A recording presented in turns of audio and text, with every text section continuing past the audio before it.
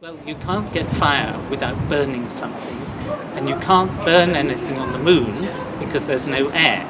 So you have to have both the oxidant and the fuel, and when you mix them together, they have to burn, and they have to set fire to themselves spontaneously so you don't have an astronaut with a match standing on the ground. And you want them to produce a huge amount of energy so that you don't need a very large weight of fuel to get you up again. Today we're going to demonstrate the, the rocket fuel or the rocket motor which was used to propel the, the lunar module back from the, the surface of the moon. And this is a quite amazing type of chemistry where we take a fuel and an oxidant and we react the two and instantaneously they will combust without the requirement of any ignition source. So this is a hypergolic reaction. So we need to take a fuel and in the case of um, this rocket we're going to use unsymmetrical dimethylhydrazine which was one of the fuels used in the lunar program. And the key point is that it reacts very, very, very, very rapidly with a strong oxidant, in this case N2O4, to generate lots of gases, lots of strong bonds like nitrogen, dinitrogen molecules, and generate a lot of thrust to get the, the rocket off the, off the moon. So here you can see we have a setup of the moon, of the, of the rocket, and this was developed some years ago by technicians and academics in our School of Chemistry and we brought it back out from the stores to celebrate the lunar landing. So I will load the fuel, the un unsymmetrical dimethylhydrazine in this tank, and I will load the, the oxidant, N2O4, in this tank, and then by the wonders of remote control technology we will initiate the chemical reaction and fire the rocket motor, which would then take the rocket up, up into space. So the first thing I need to do is to measure out the fuel. So the fuel, as I said, is unsymmetrical dimethylhydrazine. And I'm going to pour some into this measuring cylinder, about 30 millilitres, to pour into our fuel tank.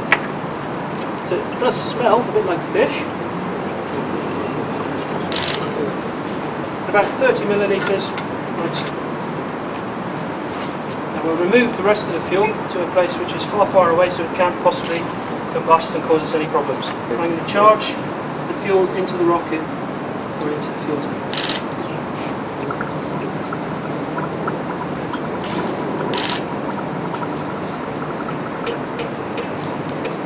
Okay, so that's the fuel.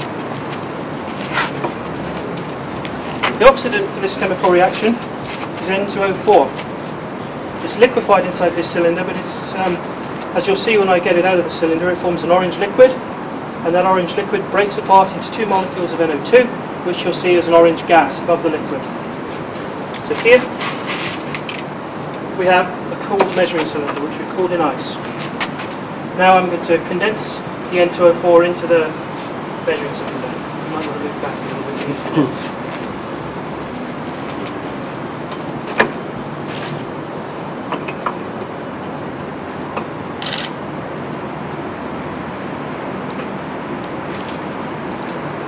So we're going to try not to breathe this material because it can be quite toxic. And you can see the orange fumes.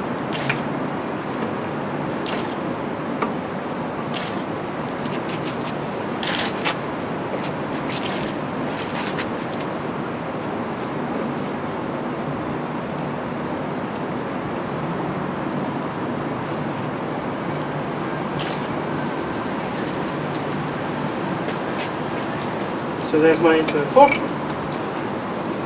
And again, I'll shut the cylinder to remove it to the side. Okay. So now I'm going to pour the N2O4 into the oxygen fill tank and then we'll initiate the reaction. Can you stand do it the other way? Okay.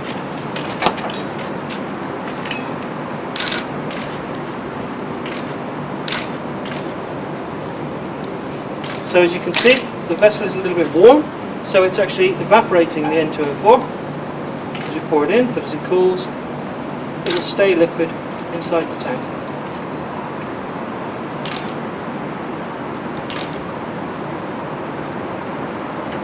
So there we go. So let's close the, the tank now for the N2O4. So this is the oxidant. And the last thing I need to do before passing over to Norman, who will initiate the reaction, is to close the tank to allow the fuel to pressurize. So, Are we going to count down, Norman? Okay. Three, two, one. All engines running. Lift off. We have a lift off on Apollo 11.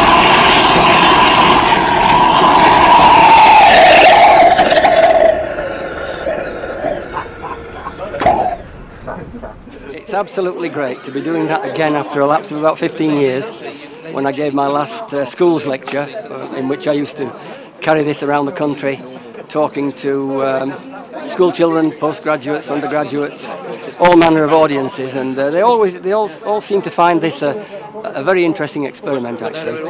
And I used to uh, give them the countdown, the actual countdown of uh, Glynn Lunney counting down to the, the actual Apollo 11 liftoff which seemed to go down well. Prefaced by Also sprach Zarathustra, the music which was played during the Apollo 11 coverage way back in 1969.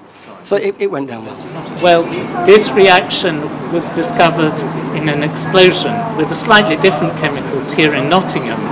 And then it was published that there was an explosion, and we believe that the scientists from NASA then read about this, and it was subsequently taken up by NASA for their rockets.